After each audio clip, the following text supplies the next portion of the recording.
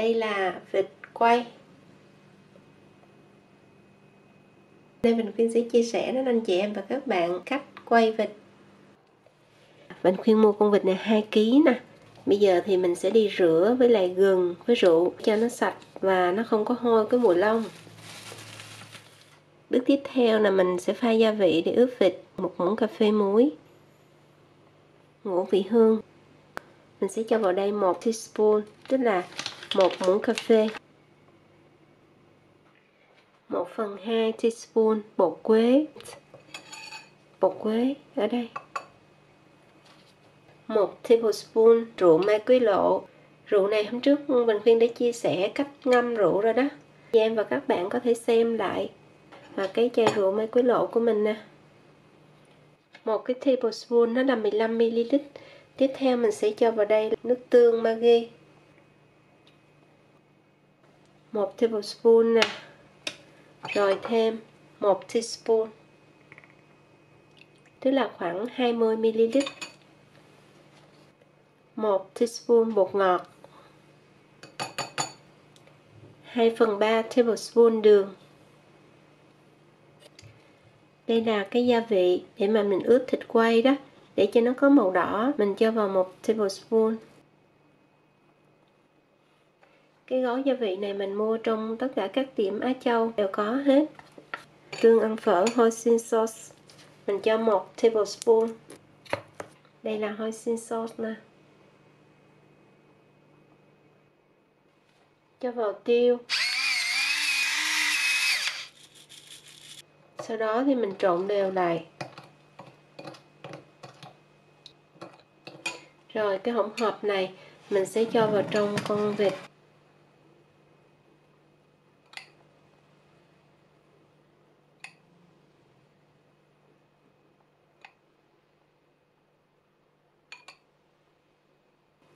Quay trở lên rồi sau đó cho cả vào trong bụng nữa.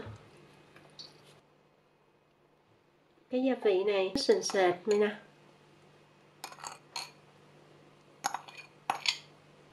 Dùng tay mình sẽ thoa cho thật là đều trong ngoài luôn nha. Xoay cho thật là kỹ để cho gia vị nó thấm hết. Ở những nơi mà người ta quay vịt mà chuyên nghiệp á là người ta sẽ bơm cho con vịt nó phồng cái da lên. Để lúc sau nướng là cái da nó giòn. Bởi vì sao? Là nó tách cái phần da với lại phần mỡ ra đó. Rồi cái này mình sẽ cho vào trong tủ lạnh. Thì đây là thịt sống. Mình cho vào trong tủ lạnh nó hôi lắm. À, nếu như mà tủ lạnh mà có được cái học mà như giống như nhà mình khuyên có cái tủ lạnh hiệu Samsung nè. Người ta có một cái học riêng để mà mình cho những cái thực phẩm để nhiệt độ từ 2 độ đó, thì mình cho vào trong đó thì nó đỡ hôi cái tủ của mình. Bởi vì cái này là gia vị này nó có cái mùi, nó sẽ làm cho hôi cái tủ đó.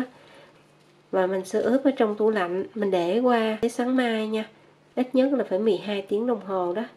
Sẽ làm cái phần này để cho vào trong bụng con vịt. Ở đây là gừng, một nhánh khoảng 20 gram rồi một củ hành khoảng 35 gram hoặc là 40 gram. Nấm mèo nè, nấm đông cô. Mình cân sao cũng được, loại này loại kia. Tổng cộng là 20 gram. Thì sau đó mình sẽ đi ngâm nước ấm trong thời gian là 20 phút. Nước ở 50 độ C để cho cái này nó nở ra đó. Đây là cái phần mà chút xíu nữa mình sẽ cho vào trong bụng vịt. Tiếp theo là đến cái phần mà nấu cái nước gia vị để mà trụng vịt có cái trần bì trần bì không có thì mình sẽ sử dụng cái vỏ quýt khô. Tay hồi hay là tay vị hay là đại hồi là cái này đây. Đó là cái sao năm cánh đó. Bốn cái như vậy nè. Còn ở đây là đinh hương. Đây, nó giống như cái đinh như vậy, người ta gọi là đinh hương. Tám cái. Một nhánh quế. Quế. Là cái này đây là cái cây này, cái vỏ đó. Rồi một củ hành tây, khoảng là 150 gram. Tiếp theo là cái hỗn hợp gia vị để mà mình nấu nước. 8 gram đường cắt vàng. 1 teaspoon bột ngọt, khoảng 5 gram. Mật ong. Nó dính vào đây nè như vậy khi mình múc thì mình hút hai muỗng canh nha. Rượu mai quế lộ, một muỗng canh, hai muỗng canh tức là một tablespoon. Một teaspoon muối. Xong rồi đây là cái hỗn hợp để chút xíu nữa mình đi nấu nè. Bây giờ mình sẽ quay lại với cái phần này của hành. Mình sẽ đi lột vỏ, sau đó mình rửa sạch. Mình sẽ nướng cùng với những cái này và để cho tiện và nhanh thì mình sẽ cho toàn bộ vào trong cái giấy nhôm. Rồi sau đó gói lại và nướng trong air fryer. Lưu ý là cái này nó nhẹ, nó có thể bay lên trên cái thanh nhiệt đó. Thành thử ra, khi mình nướng mình nhớ lấy một cái củ hành, hoặc là có thể là thêm một cái củ hành nữa. Mình chặn lên cho nó đừng có bay nha. Rồi bây giờ mình khuyên sẽ đi nướng cái này. Và cái này thì 3 phút còn cái này thì 8 phút, ở 180 độ C, tức là 360 độ F. Trong lúc mình nướng bên kia gừng mình có thể bằm nhuyễn, mình giả ra ra mình bằm cũng được, hoặc là mình cắt lát vậy cũng được luôn. Rồi cái củ hành thì mình cắt lát, cắt hơi dày dày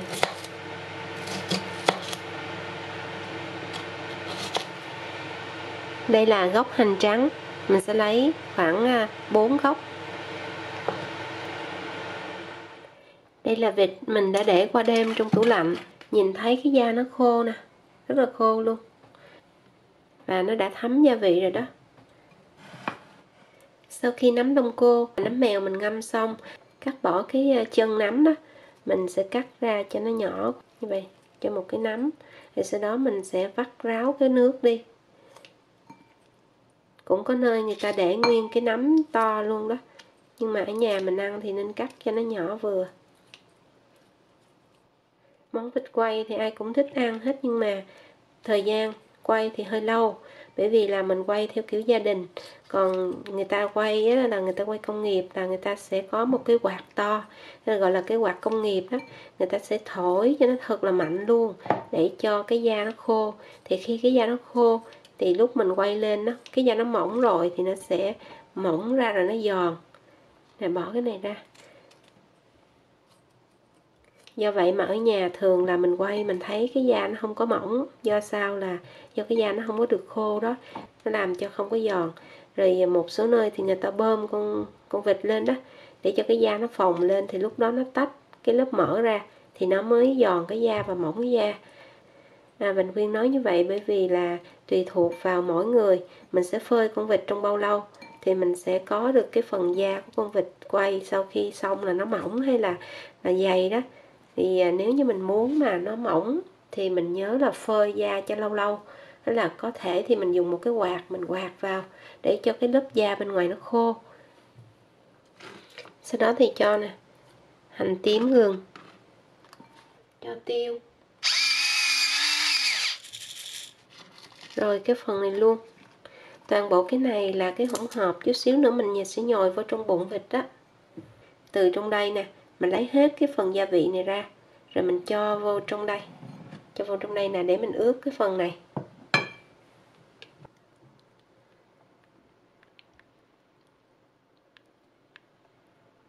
Sau khi mà con vịt mình ướp qua đêm là 12 tiếng là nó đã thấm rồi đó. Rồi sau đó thì mình trộn đều cái này lại, rồi mình cho vào trong bột con vịt lại cũng có một số anh chị em và các bạn sẽ xào cái này. Nhưng mà mình khuyên thấy là không cần thiết, bởi vì là khi mình xào thì cái nấm mèo nó chín rồi, lúc sau mình ăn nó sẽ không ngon nữa. Bởi vì là con vịt này mình quay trong thời gian khá lâu thì trong bụng nó cũng đã chín đó. Cho hết vô nè. Cả phần hành nấm gừng, củ hành lưu ý là ban đầu mình nhớ là rửa vịt với lại gừng và rượu để cho nó không có mùi hôi mùi hôi lông đó. Bởi vì thường là con vịt nó hay có mùi hôi lông. Một số anh chị em và các bạn có người ăn không được luôn đó. Do cái mùi của này nè. Cho hết luôn luôn. Ở Việt Nam, ngày xưa mình ăn vịt đó thì người ta cho nấm kim châm, ăn rất là ngon. Nhưng mà ở đây mình không có thì mình sẽ cho những cái này. ở nhà mình thích ăn nấm nhiều, do đó mình cho 20 gram nấm khô. Còn trong trường hợp nếu như mà anh chị em và các bạn không thích thì mình có thể cho ít thôi nha. Lưu ý là khi mà mình cho cái phần nước vô là nó sẽ chảy ra ngay cái đầu này, do cái đầu này nó hở nè. Do vậy mà trước khi mình chế cái phần nước vô đó, mình sẽ dùng cái kim hoặc là cái cây gì đó mình may cho nó kín lại kín lại cái phần này nè mình sẽ dùng cái cây xiên thịt nướng. Mình may như thế này nè. May lại. Cho nó kín lại đó. Nước sôi sủi tăm, mình cho vào đây củ hành nướng. Mình chẻ tư ra. Toàn bộ cái lúc nãy mình nướng nè. Mình cho hết vào luôn. Đậy lại và nấu trong vòng 5 phút. 5 phút, mình mở nắp ra. Và lúc nãy là cái phần nước trong nồi là một lít rưỡi đó mình khuyên nhắc lại là lúc nãy cái phần nước trong nồi nó là một lít rưỡi. Rồi bây giờ mình cho toàn bộ cái hỗn hợp gia vị lúc nãy mình pha ra vào đây luôn.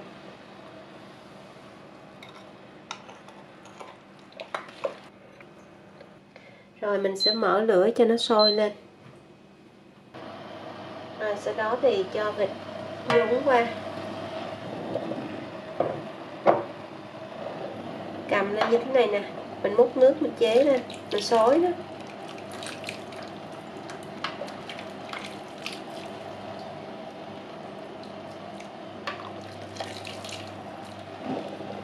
Cái hỗn hợp này thực ra là người ta nhúng rất là nhiều vịt đó. Mình ở nhà mình làm có một con à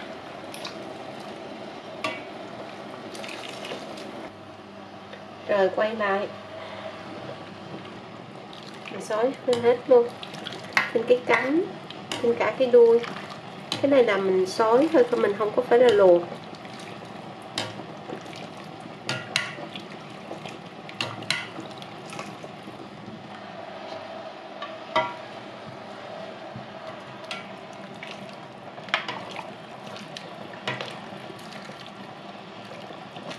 Rồi xong rồi, sau khi mình xối nước xong rồi, thì mình treo lên cho vịt nó khô da.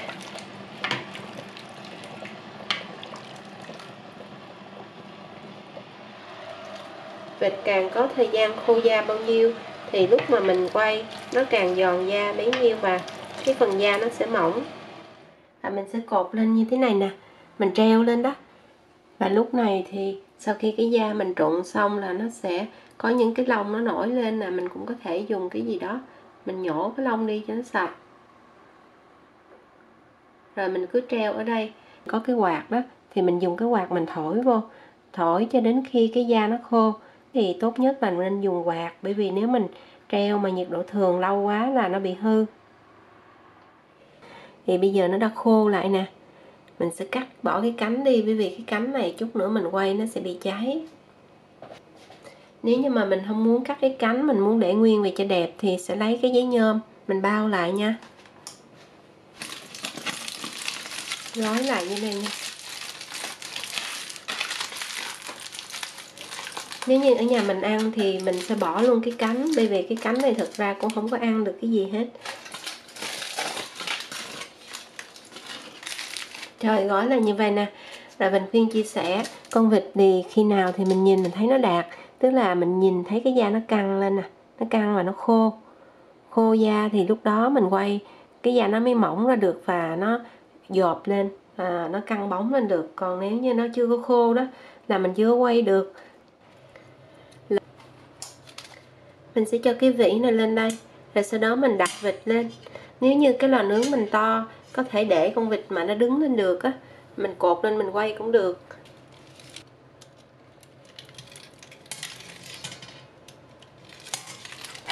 Mình sẽ nướng con vịt ở cái vị trí này trước. Như vậy nè, nướng trước, sau đó thì mình mới lật lại cho nó đẹp đó lò mình sẽ làm nóng ở 200 độ C, tức là khoảng 400 độ F và nhớ là có cái quạt để cho nó chín đều đó. Vỉ nướng, mình sẽ để ở tầng thứ hai, tính từ dưới lên. Rồi sau đó thì cho vịt vô nè. Tính giữa lò luôn. Bây giờ sẽ nướng nha.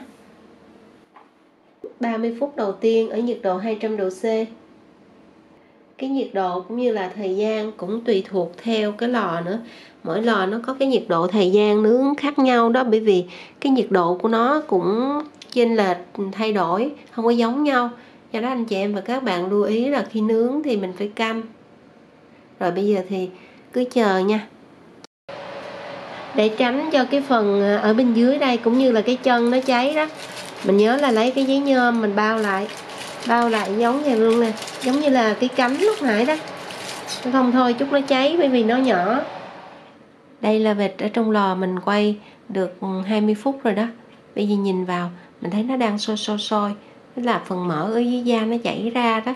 À, thì à, mình áp cái nhiệt độ cao như thế này để cho mỡ nó chảy ra thì nó làm cho cái phần da nó tách rời ra. Thì lúc sau nó mới giòn. Đó nó đang phồng lên nè màu rất đẹp. Đây là vịt trong lò sau khi mình quay được 29 phút nè.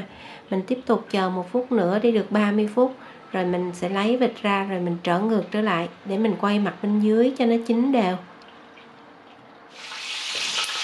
Bây giờ nhìn vào để mình thấy vịt nè, và phía bên dưới mình thấy rất là nhiều mỡ. Thì nếu như mà mình để tiếp tục mình nướng đó, là mỡ nó sẽ văng dơ lò do vậy mà mình sẽ lấy con vịt ra rồi mình đổ cái phần mỡ ra rồi sau đó mình cho trở lại mình nướng tiếp nha. Là sau khi mình quay lại như thế này nè, và cái à, những cái chỗ nào mà nó đưa đưa cao cao lên đó, thì mình nhớ lấy cái giấy nhôm mình bao lại cho nó đừng cháy.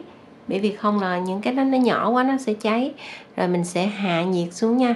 Lúc nãy là 200 độ C có quạt, thì bây giờ mình hạ xuống còn 180 độ C có quạt nha trước tiên là mình sẽ để 30 phút nha. Ở đây là cái phần mỡ lúc nãy từ, ở con vịt nó chảy ra.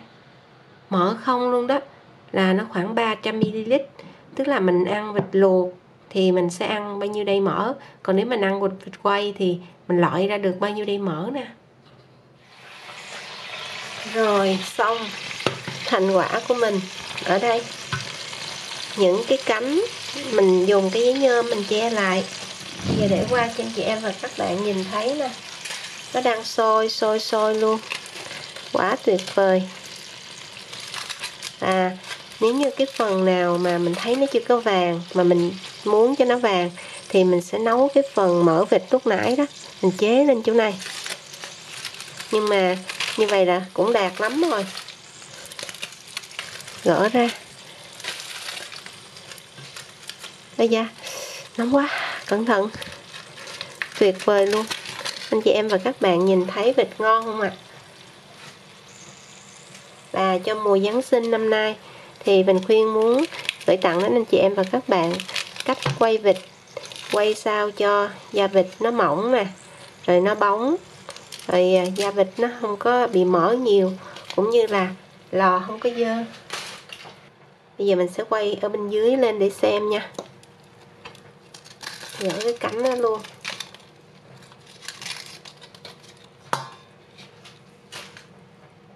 Nóng lắm luôn đó.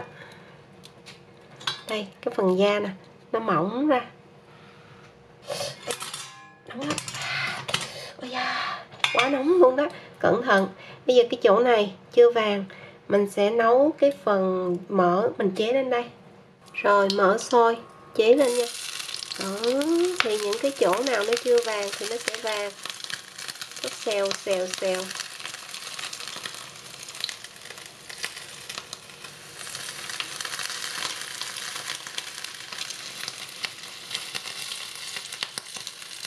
Sôi đó.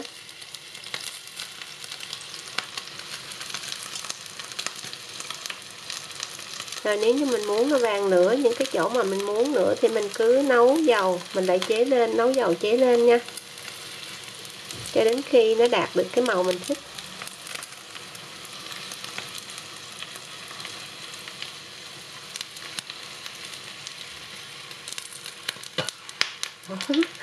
Sôi phù phù phùng lên luôn.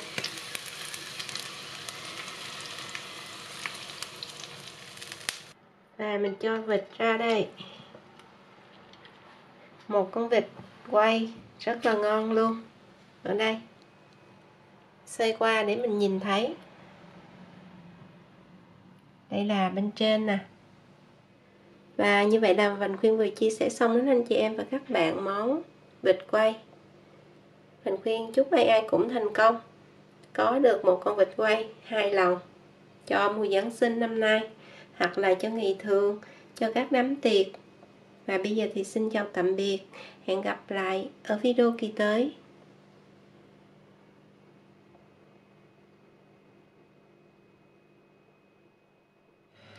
Bây giờ mình sẽ cắt vịt ra nha. Khi mà vịt nguội thì mình cắt. Nếu như mà mình có dao mình chặt cũng được, nhưng mà thường là mình khuyên thích cắt hơn bởi vì là sao? Khi mình cắt nó đỡ văng. Đó, cắt cái cánh nè. Hấp dẫn chưa?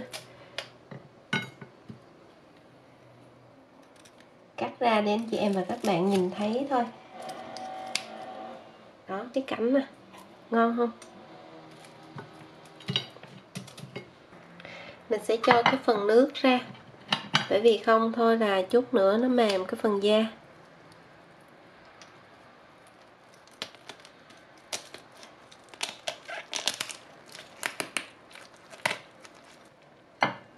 Đổ nước ra nè. Màu sắc quá hấp dẫn luôn. Phần da của vịt nó mỏng.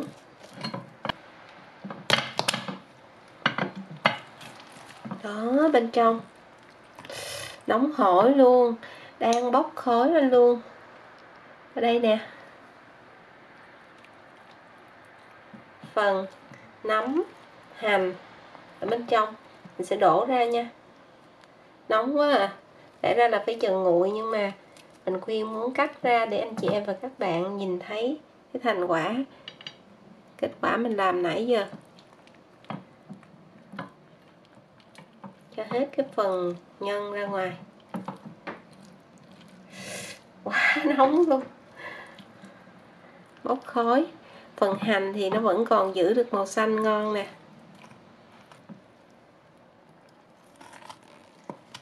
Cắt vịt ra luôn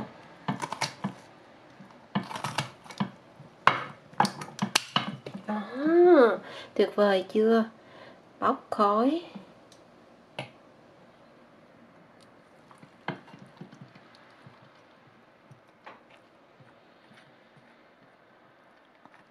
Và cái phần thịt nó chín là nó đủ để cho nó ngọt thịt không bị khô.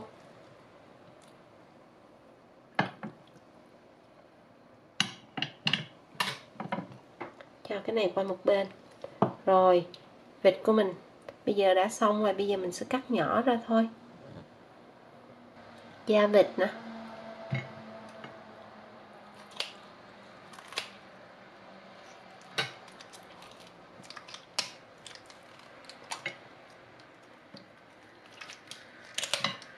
Ừ, đùi vịt. Ngon chưa?